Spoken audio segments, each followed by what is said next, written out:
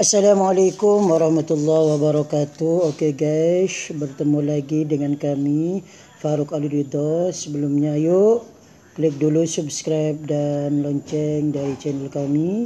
Jangan lupa like-nya juga. Sejarah singkat pertumbuhan dan perkembangan tasawuf. Kehidupan tasawuf sebenarnya tumbuh dan berkembang bersamaan dengan tumbuh dan berkembangnya agama Islam mulai sejak zaman Nabi Muhammad sallallahu alaihi wasallam.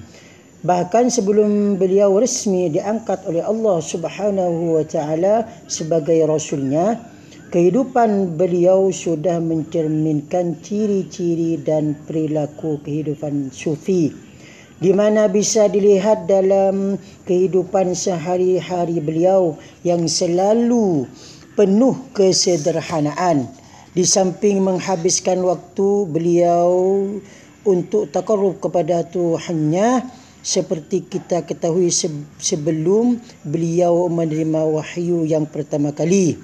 Beliau sudah seringkali melakukan kegiatan sufi dengan uzlah di Gua Hira selama berbulan-bulan lamanya sampai beliau menerima wahyu pertama dan diangkat sebagai rasul. Setelah secara resmi diangkat menjadi rasul, beliau tetap hidup dalam kesederhanaan dan waktu beliau hanya dipergunakan untuk berdakwah dan beribadah kepada Allah Subhanahu wa taala. Pada malam hari beliau sangat sedikit tidur waktu beliau dipergunakan untuk tawajjuh kepada Allah dengan memperbanyak ibadah dan zikir kepadanya.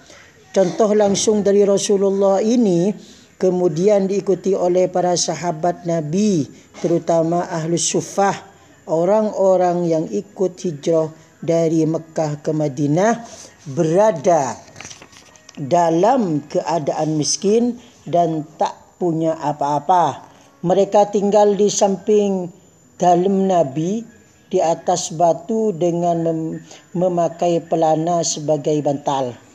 Perkembangan tasawuf kemudian dilanjutkan oleh tabi'in.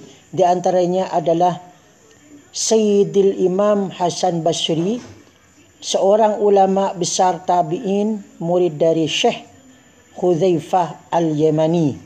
Beliau inilah yang pertama kali mendirikan pengajian tasawuf di kota Basrah. Di antara murid-murid yang dididik di madrasah pertama yang dipimpin oleh Syekh Hasan Basri adalah Malik bin Dinar, Thabit Al-Banai, Ayub Ash-Shaktiyani dan Muhammad bin Wasi' madrasah tasawuf pertama di Basrah ini kemudian disusul pula di tempat-tempat lain seperti di Iraq yang dipimpin oleh tokoh ulama tabi'in yang sangat terkenal Syekh Sa'ad bin Musayyab. Di Khurasan berdiri madrasah tasawuf yang dipimpin oleh Syekh Ibrahim bin Adham dan lain-lain. Pada abad-abad berikutnya tasawuf semakin berkembang sejalan dengan perkembangan agama agama Islam di berbagai belahan, belahan bumi.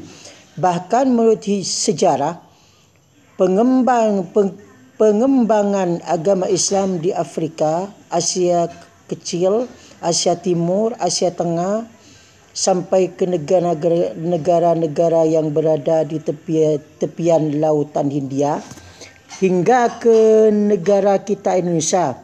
Semuanya dibawa oleh para da'i Islam dari kalangan tasawuf. Sifat-sifat dan cara hidup mereka yang sederhana, kata-kata kata-kata mereka yang lemah lembut dan mudah dipahami, kelakuan mereka yang sangat tekun beribadah, semuanya lebih menarik daripada ribuan kata-kata yang hanya teori belaka. Mereka lah para pendakwah yang sebenarnya pengikut-pengikut mereka merupakan para sukarelawan yang ikhlas dan berpuluh-puluh ribu jumlahnya yang senantiasa ikhlas menyerahkan segala apa yang dimilikinya hartanya bahkan jiwanya semata-mata untuk membela agama Islam yang dibawa oleh Nabi Muhammad sallallahu alaihi wasallam. Kerana gerakan mereka meniru gerakan Nabi, maka orang-orang yang dihadapi baik khalifah-khalifah, raja-raja, pembesar-pembesar kerajaan dan orang-orang kecil semuanya takut dan menghormati mereka. Kerana dibawa oleh para ahli, ahli tasawuf maka ajaran tasawuf pun kemudian tersebar dan berkembang pesat sejalan dengan cepatnya perkembangan agama Islam itu sendiri.